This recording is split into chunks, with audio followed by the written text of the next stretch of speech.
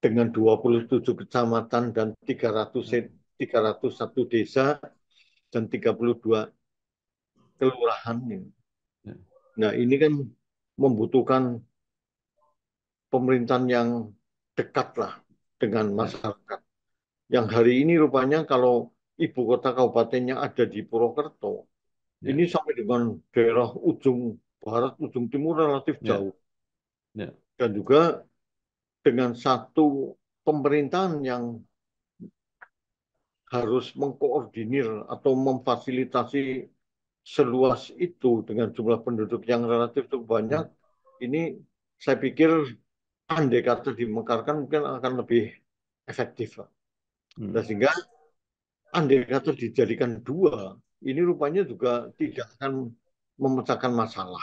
Jadi akhirnya waktu itu setelah kami kaji dengan unsur dan segala macam, kita tentukan menjadi tiga daerah Ya. otonom di rencananya. Jadi ada Kota Purwokerto dengan Kabupaten Banyumas dan Kabupaten Banyumas Barat rencananya. Ya.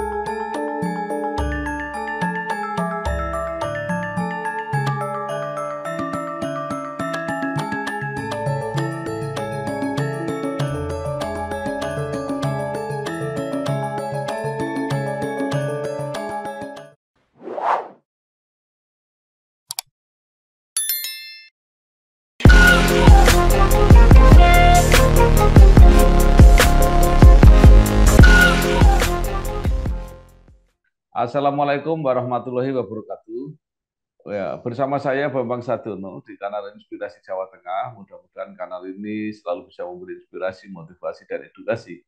Kami sedang mempersiapkan beberapa video wawancara untuk memantau eh, pelaksanaan pilkada serentak, termasuk pemilihan bupati dan wakil bupati di Kabupaten Banyumas periode 2024-2029.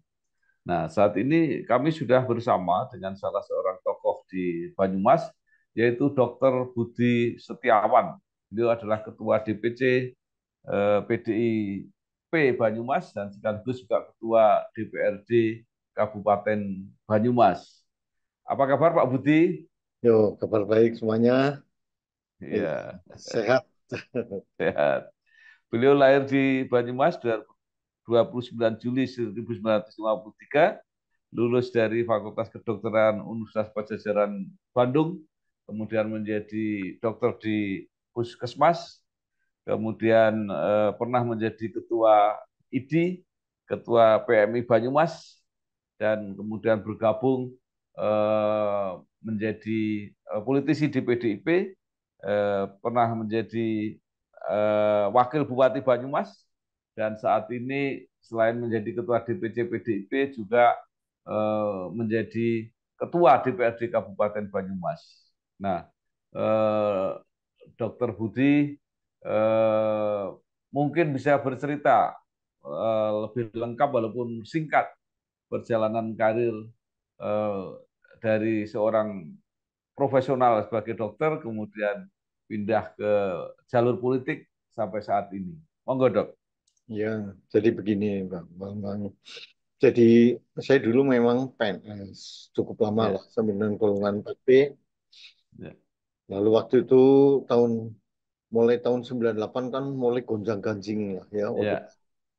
Nah, sehingga di sana ya memang selama saya menjadi PNS rupanya banyak hal-hal yang mungkin saya merasa risih gitu, Pak. Di mana Ya. saya ingin melakukan sesuatu tapi rupanya Ya. sulit sekali, Pak, untuk melakukan. Ya. Nah, akhirnya dengan adanya reformasi segala macam, saya waktu itu langsung bergabung dengan PDI pada Ya. tahun 98, 97, 98 lah, sampai dengan hari ini. Ya. Di mana saya berpikir bahwa kalau saya hanya jenjang PNS saja rupanya sulit lah ya saya untuk Ya, bisa merubah kebijakan dan segala macam. Ya, Ya karena birokrasi waktu itu kan demikian kencang sekali lah. Dan ya, juga untuk menembus sampai bupati rupanya kan mimpi lah. Ya, akhirnya dengan adanya informasi saya bersama-sama dengan teman-teman masuk di PDI Perjuangan, masuk di PDI yang akhirnya ya, tahapan demi tahapan kita lalui. Di ya, mana saya sudah menentukan sikap lah bahwa saya ingin mencoba untuk masuk di ya, legislatif pada tahun 99. ya, Cuman karena saya minta cuti di luar tanggungan negara tidak diberikan, jadi akhirnya ya, saya urungkan lagi. Saya sudah ya, masuk DCS waktu itu. ya, Lalu pada tahun 2004 pun demikian.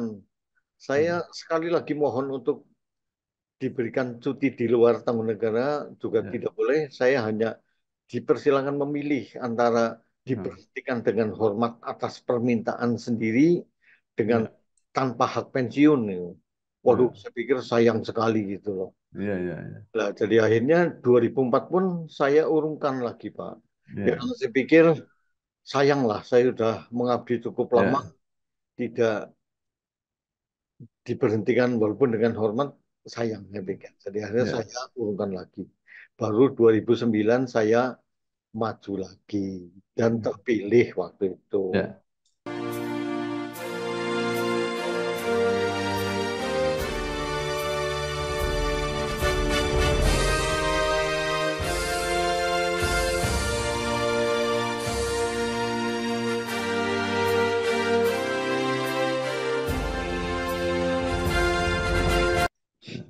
Lalu Jadi waktu itu sudah pensiun, Pak?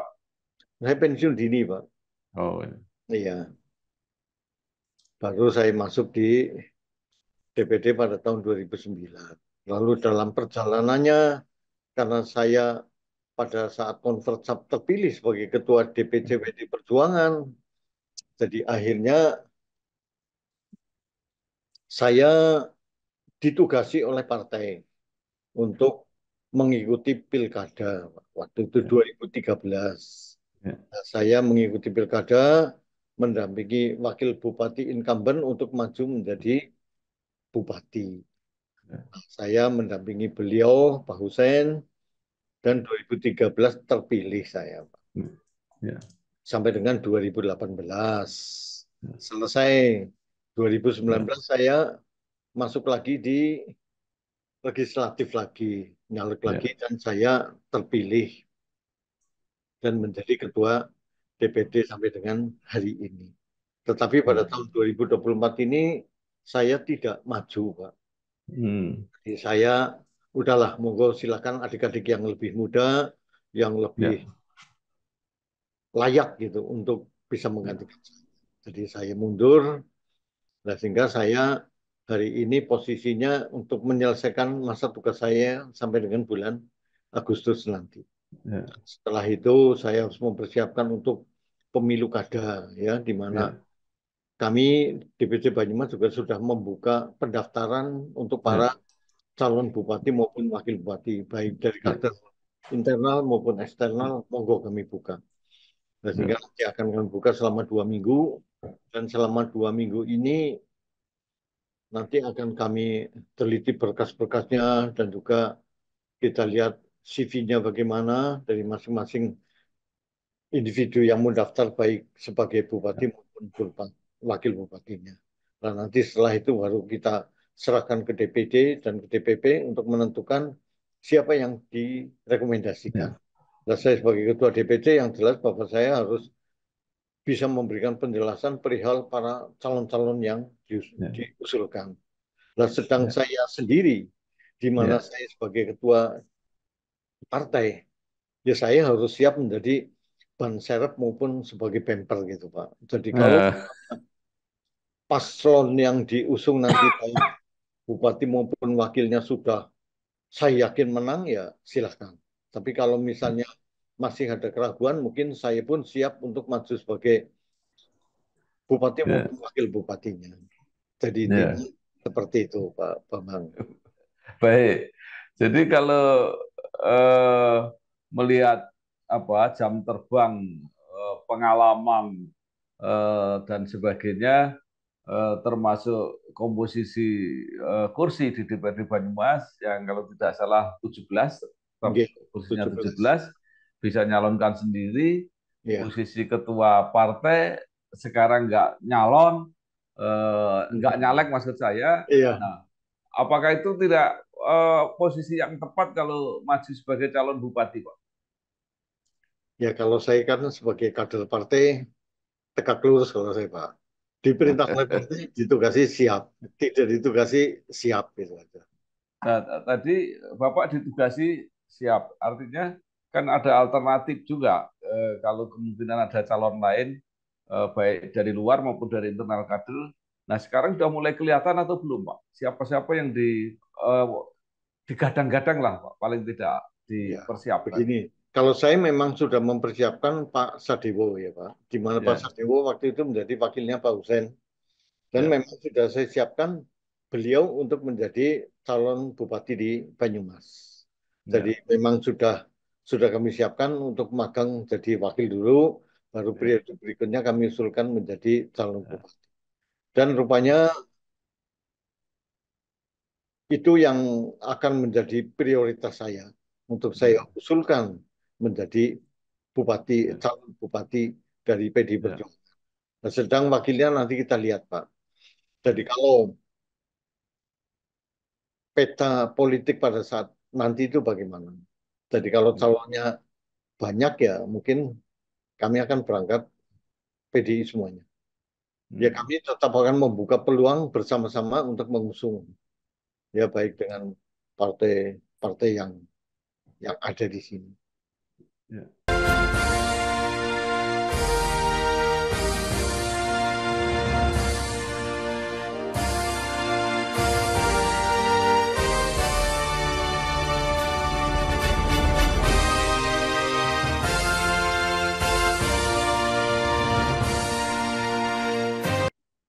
Jadi artinya bahwa eh, PDI bisa eh, berkoalisi, tetapi bisa juga tidak berkoalisi.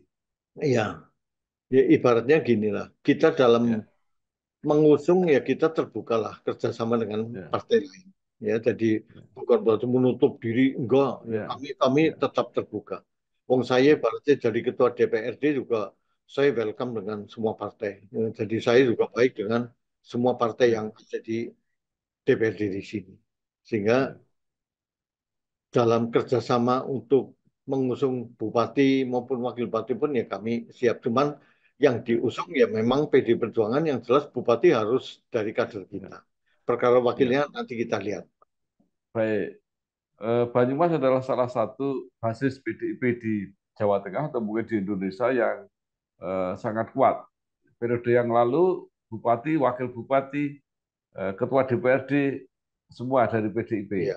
Nah, ya sekarang kan, setelah reformasi dulu kan ketua DPD ya, selalu dari dari PDI, Pak. Nah, kemarin bupati juga ya harapan kami juga akan berkelanjutan. ya, ya. Nah, eh, ini petahana kan tidak bisa maju lagi, Pak. Nah, Ya biasanya kalau petahana kan sudah dua kali maju, kan.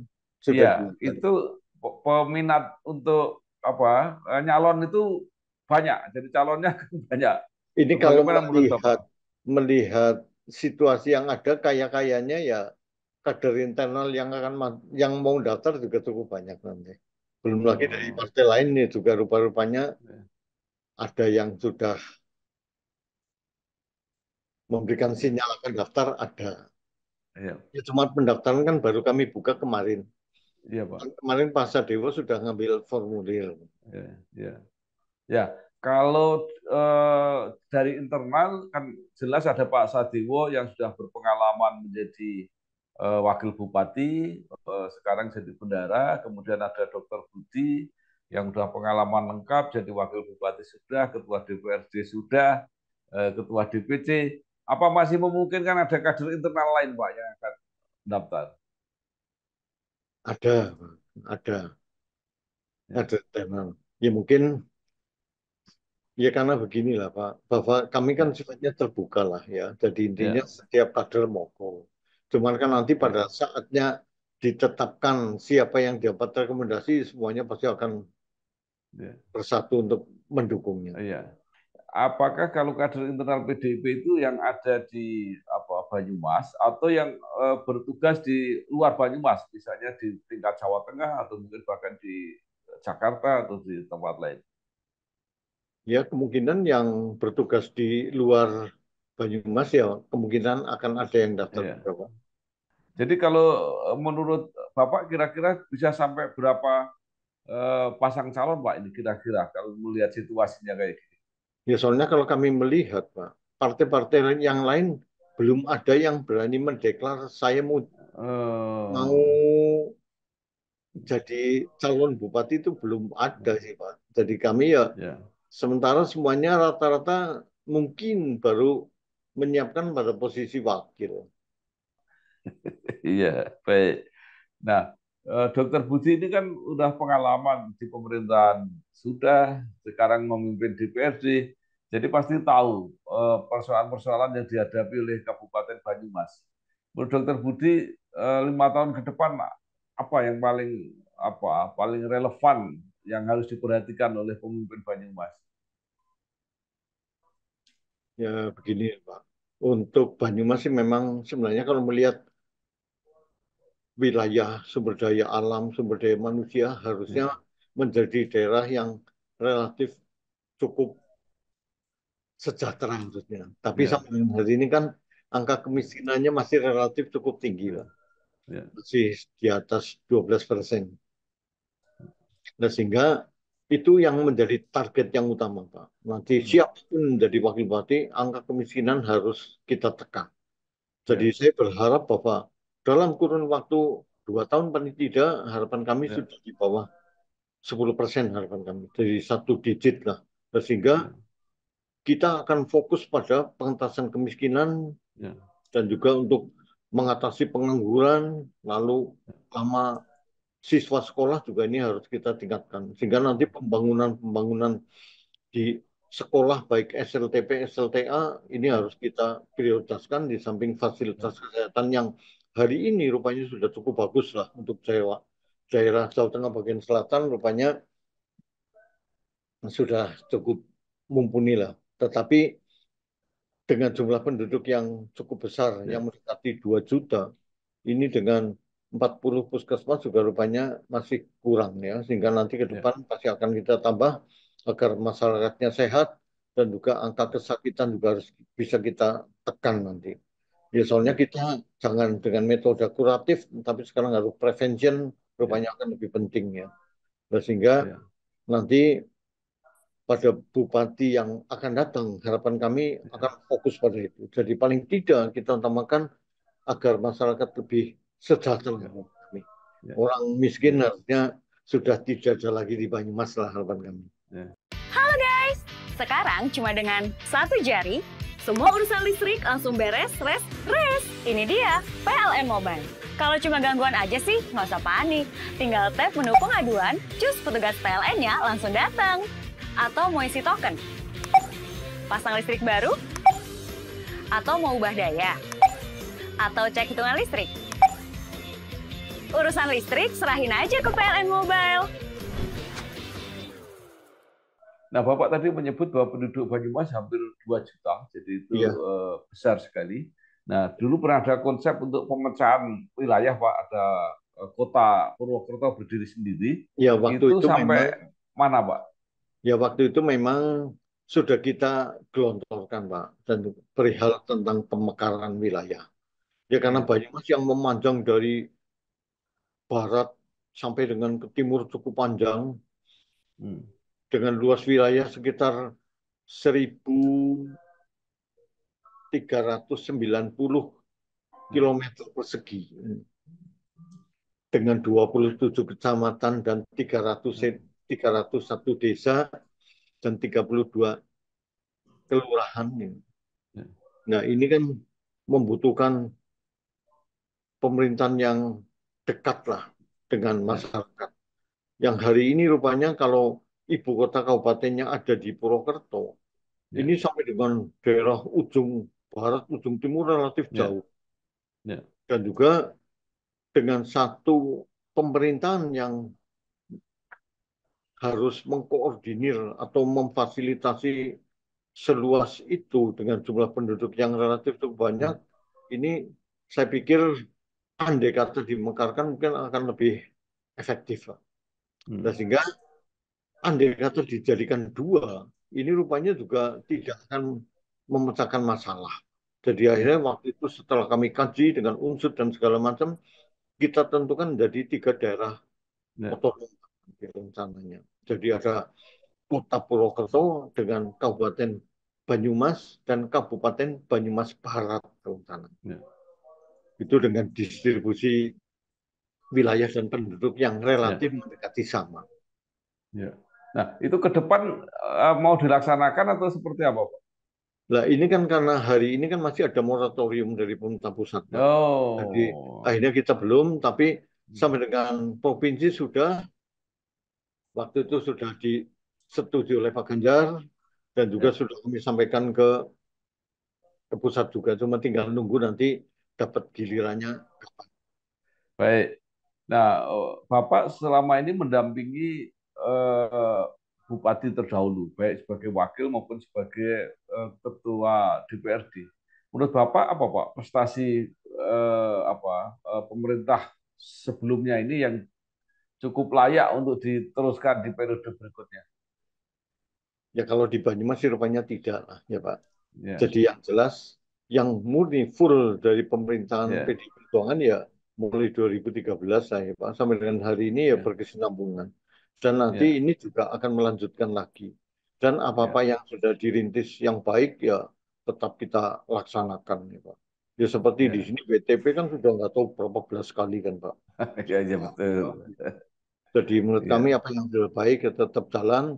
Mungkin nanti beberapa kegiatan yang kurang menggigit ini harus lebih fokus lagi nanti. Ya, ya.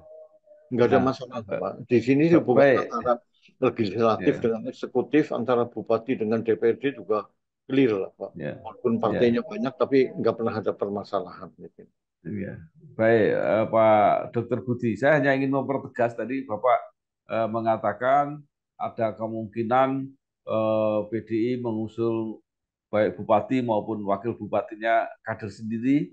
Bapak sendiri siap baik menjadi bupati ataupun menjadi wakil bupati. Apakah mungkin eh, nanti misalnya bupatinya Pak Sadewo, wakilnya Dr. Budi, eh, mungkin nggak tuh? Ya mungkin saja. Kenapa enggak? Tapi Ya. saya sih tidak tidak tidak ada target Pak. Bagi saya Oh, iya, sebagai baik. petugas partai, yang penting pasangan yang diusung menang. Ya. Siapa pun Oke. Baik. Ya kalau Terakhir, saya Pak. egois ya Pak, kalau saya egois ya Pak, saya Ya. Maju sendiri Pak, ya enggak. Tapi Ya. enggak lah, saya melihat bahwa Ya. ada teman yang punya potensi yang bagus ya, kenapa tidak tidak saya dukung. Nah, sehingga saya Ya. sudah sepakat saya akan dukung sepenuhnya Pak Sadewo untuk menjadi bupati. Ya, baik.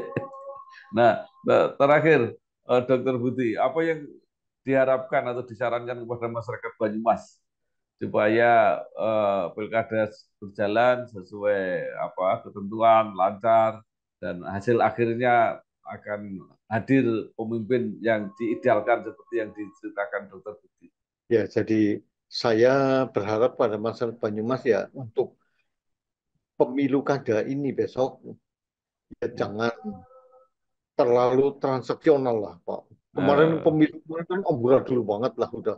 Saya pikir waduh luar biasa lah. Ya, Ini pemilu yang paling brutal menurut kami ya enggak. ya, Nah, sehingga saya berharap bahwa nanti bupati yang jadi tidak terlalu terbebani dengan biaya yang Ya. tinggi Pak. Walaupun saya sudah Ya. wanti-wanti.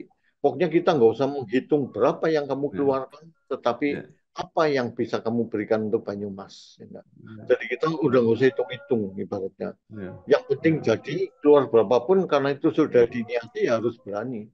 Jadi saya Ya. tidak akan mengusung calon yang tidak siap tempur lah. Dan Pak Sadewo sudah siap, Ya. sehingga saya yakin beliau juga akan menjalankan tugas dengan sebaik mungkin. Jadi intinya harap Bapak masyarakat Banyumas jangan terlalu berharap ya akan ya mau milih kalau dikasih duit gitu ya enggak. Ya. Ini kan amat amat disayangkan menurut kami ya enggak. Ya. Nah, sehingga kalau bisa ya kita milih atas dasar track record maupun kemampuan dari calon yang akan kita pilih. Dan Pak Sadio rupanya juga sudah sudah cukup mengenal seluruh wilayah ya sehingga Mas Banyumas saya yakin semuanya sudah paham lah. Sehingga saya selaku partai tidak terlalu sulit untuk mensosialisasikan atau untuk mengantar beliau menjadi Bupati Banyumas. Ya karena Ya. ini benar-benar sudah kami siapkan Bapak. Baik, terima kasih sekali Dr. Budi. Setiawan, Ketua DPC PDIP Banyumas dan sekaligus Ketua DPRD Kabupaten Banyumas. Terima kasih informasinya. Mudah-mudahan semua berjalan lancar dan sukses. Terima kasih, Terima kasih. Mas. Ya. Wassalamualaikum warahmatullahi wabarakatuh. Oke, terima kasih. Dok.